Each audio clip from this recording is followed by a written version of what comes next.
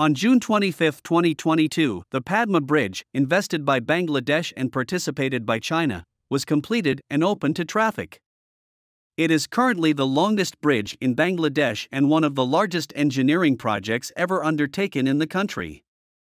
It originally took a day to reach the other side, but now the time is shortened to 10 minutes, and the thousands of years of ferry on both sides of the Padma River will be completely ended. On that day, residents of the entire city spontaneously came to the scene to witness this historic moment. Local residents expressed their gratitude to China for helping them make dreams come true. Some residents were so excited that they knelt down and kissed the bridge deck to express their love and respect for the Padma Bridge. Why did they choose China to build the Padma Bridge? How did China solve the problems during its construction? Okay, that and more is exactly what we are going to talk about today. First of all, I would like to briefly summarize the breakthrough highlights of this project. 1. IT is the longest bridge in length and span so far over the Ganges. 2. The bridge design is monsoon resistant, earthquake resistant, and scouring resistant. 3. It is 150 meters long prefabricated steel truss members, combined with pre-stressed concrete deck. 4. The bridge pile is 122 meters long, which is the longest and deepest bridge pile foundation in the world. 5. It is a dual purpose bridge for road and railway, including the upper two way four lane highway and the lower single track freight railway. 6. Gas pipelines and optical fiber communication cables with a diameter of 750 mm are installed along the line. On the day of the official opening to traffic, motorcycles, cars, and large trucks were waiting at the gate, and the drivers and passengers held up their mobile phones to record this great historic moment. The Padma Bridge is also called the Dream Bridge by the locals, and has even become a symbol of Bangladesh's pride.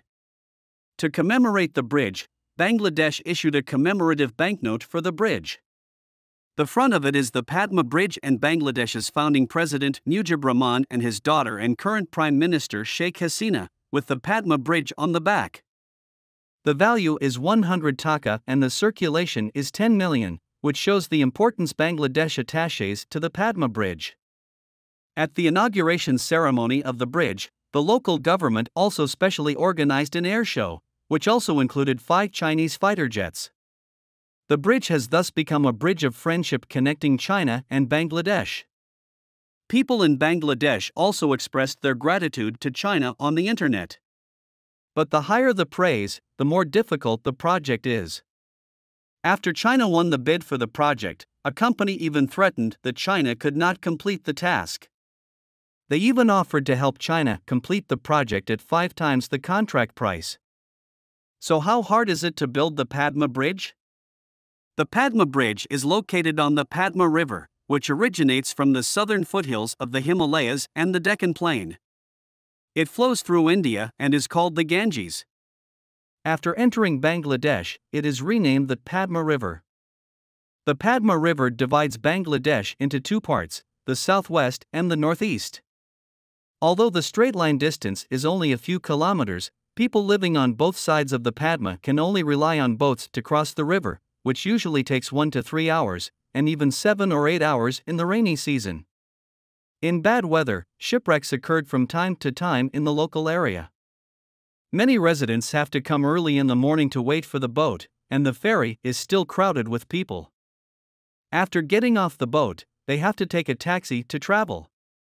The Padma River has seriously hindered the communication on both sides of the river, and Bangladesh urgently needs a bridge to connect the two sides. As long as there is a bridge, it only takes 10 minutes to reach the other side. It's just that the Padma Bridge is too difficult to build. In fact, the Padma Bridge project has attracted 24 countries with rich infrastructure experience, including the United States, Japan, Germany, and China. Countries have sent engineers to investigate around the Padma Bridge, but the results of the inspection made every engineer shake his head, saying that it was too difficult and in the end, only China chose to stay. There are six major difficulties in building the Padma Bridge. The first problem is that the design mode of the bridge is different from that of China, and the requirements of world class supervision units are more stringent. But China has not only gained recognition from global experts in terms of technology, but has even incorporated Chinese standards into new international standards for infrastructure construction. The second problem is that the riverbed is too soft to build a bridge. There are two solutions to this problem. One is to drive the pile foundation deep enough that the bridge can be built as long as it is driven into the bedrock at the bottom. However, the silt in the Padma riverbed is too deep, and the rocks are buried more than 8 kilometers deep, which means that no matter how deep it is, the bedrock below cannot be touched. Faced with this problem, China has come up with two methods. One is to use the large diameter steel slanting pile insertion technology in the construction of the Padma Bridge. This is the first time that China has used such a technology. After 18 months of continuous pile testing experiments, the technology has been successfully mastered and the construction standards have been met. Another method is to set a soil plug at the bottom of the pile while the engineers are driving the steel pipe pile into the bottom of the river. The soil plug, concrete, and steel pipe pile are used to form a closed structure. A miniature bearing platform that can bear a certain pressure of the bridge is manufactured, so that whether the bridge faces floods or hurricanes, these steel pipe piles will be firmly inserted into the bottom of the river, and this technology is also original in China. Not only these, in order to firmly drive these bridge pile foundations to the bottom of the river, China has spent a huge sum of 100 million to build the world's largest hydraulic hammer. The purpose is to perfectly fix these more than 300 huge pile foundations on the bottom of the river, making the foundation of the bridge more reliable. The third problem is the girder. The main bridge of the Padma Bridge is a 150 meter span steel truss girder structure, and the whole hull weighs 3,200 tons. In order to complete the task of erecting beams, China adopted the independently developed Tian No. 1, and its lifting capacity reached 3,600 tons. The fourth problem is the lack of resources in Bangladesh.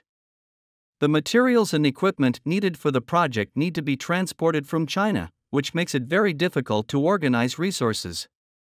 The fifth difficulty is language. The Padma Bridge employs at least 50,000 people, most of whom are Bangladeshis. Language communication and cultural differences have also added a lot of difficulties to the project. The sixth difficulty is the epidemic. The epidemic has caused many projects to stop working and many supply chains are blocked. In order to solve this problem, the local project team has formulated detailed prevention and control measures and emergency plans, and also implemented closed management. The project department is strictly prohibited, and non essential contact between project staff and the outside world is strictly prohibited. Besides, when there is a shortage of masks in Bangladesh, the project team also urgently purchased more than 500,000 medical surgical masks from China to ensure the normal completion of the project. All in all, the completion of the Padma Bridge will greatly increase the trade volume in the surrounding area bringing about 1.5% GDP growth in Bangladesh every year, benefiting nearly half of the Bangladeshi people. Well, thanks for listening. See you next time.